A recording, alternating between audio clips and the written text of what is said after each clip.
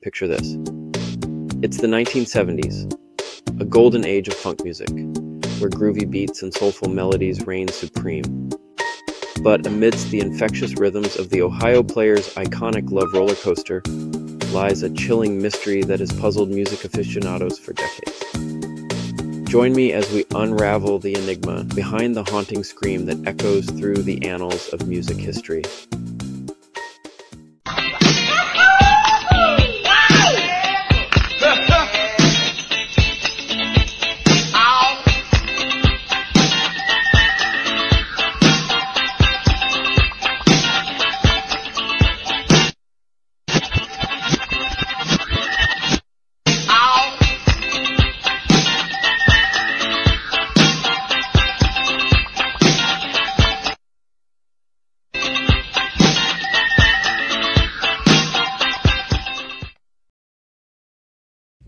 The history of the song Love Roller Coaster by the Ohio Players is a fascinating journey through the vibrant landscape of 1970s funk music.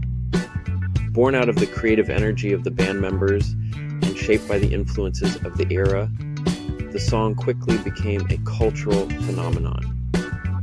The Ohio Players, hailing from Dayton, Ohio, were renowned for their smooth grooves, infectious rhythms, and soulful melodies. In the early 1970s, they had already established themselves as one of the leading funk bands of the decade, with hits like Fire and Skin Tight garnering widespread acclaim. The creative process behind Love Roller Coaster was a collaborative effort among the band members, with each contributing their unique talents and ideas to the mix. From the funky bass lines to the catchy guitar riffs and soulful vocals, Every element of the song was carefully crafted to create an irresistible sonic experience.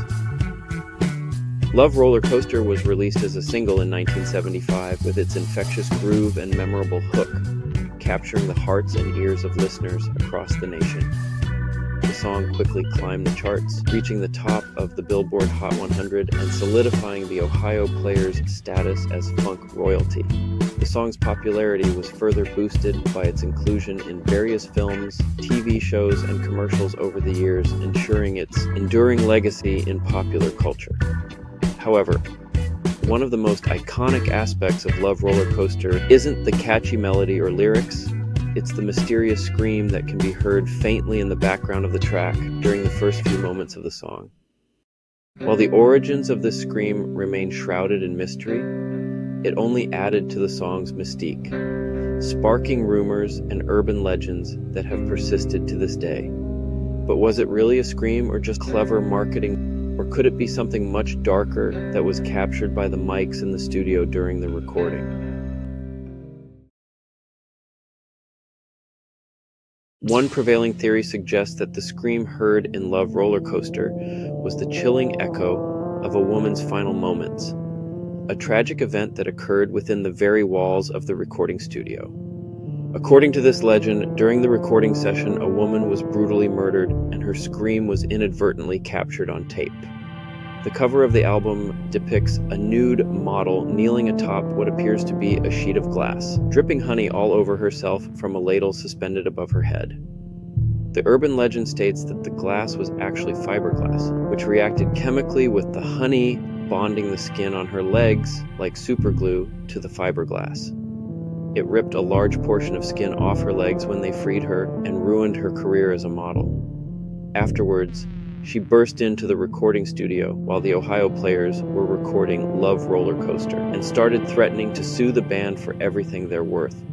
The band's manager freaked out and stabbed her to death right there in the control booth. Band had no idea that her dying scream was picked up by the mics and was left on the recording. While there is no concrete evidence to support this theory, some enthusiasts point to a mysterious anecdote involving the studio's history. It is said that strange occurrences and unexplained phenomena plagued the building, leading some to believe that it was haunted by restless spirits.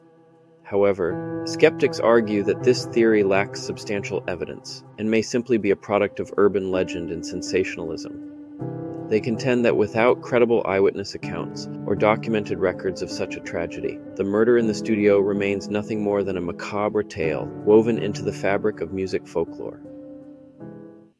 Another plausible explanation for the scream is rooted in the proximity of the recording studio to an amusement park. Some speculate that the blood curdling cry heard in Love Roller Coaster was actually the exhilarating shriek of a thrill seeker riding a roller coaster nearby. While this theory offers a more rational explanation, it still raises questions about how such distant sounds could be picked up by recording equipment and incorporated into the song. Skeptics argue that the likelihood of capturing a specific scream amidst the cacophony of amusement park noises is slim at best. A third theory suggests that the scream was deliberately added to the song as a dramatic effect, intended to heighten the listener's experience and evoke a sense of tension and excitement. Some believe that the band or the producers inserted the scream during post production as a creative choice.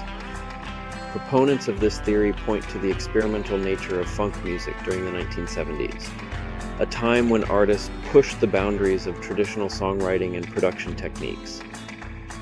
They argue that the scream was simply a product of artistic expression intended to captivate and mystify audiences. Finally, some suggest that the scream heard in Love Roller Coaster was the result of a technical glitch or feedback in the recording equipment.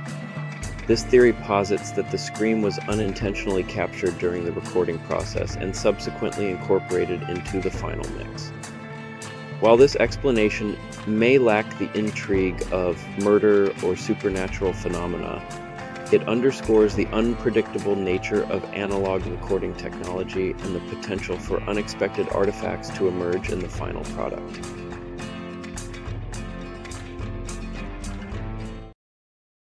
But the truth is much less mysterious. The model on the cover of the album is Ester Cordet.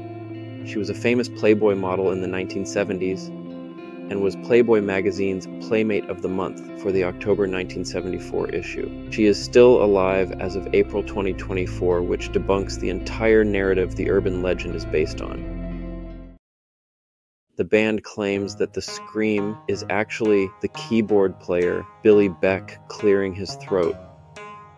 Drummer Jimmy Diamond described the innocent nature of the scream. There is a part in the song where there's a breakdown. It's guitars, and it's right before the second verse, and Billy Beck does one of those inhaling type screeches, like Minnie Riperton did to reach her high note or Mariah Carey does to go octaves above. The DJ made this crack and it swept the country. People were asking us, did you kill this girl in the studio? The band took a vow of silence because you sell more records that way. The legend appears to have evolved from an offhand comment made by an unidentified DJ during a radio broadcast in late 1975 or early 1976. It spread even more when Casey Kasem repeated the story on the nationally syndicated radio show American Top 40 in early 1976. The most common version of the legend was that the scream was from Ester Cordet being stabbed by a band member, manager, or engineer during the recording sessions. A less common variation identifies the victim as a band member's girlfriend or cleaning woman. But the truth is, it's just another creepy tale that has been passed around for decades. Nothing more, nothing less. Thanks for watching this video and exploring one of the most popular urban legends in music. Don't forget to like and subscribe if you like this video. I know it gets repetitive, but the algorithm is brutal to small channels like this. There's more videos about weird and strange stories on the channel's homepage if this video piqued your interest. If you have a story you want me to cover, let me know in the comments or just send me an email. This is Monster Shorts, and as always, stay curious.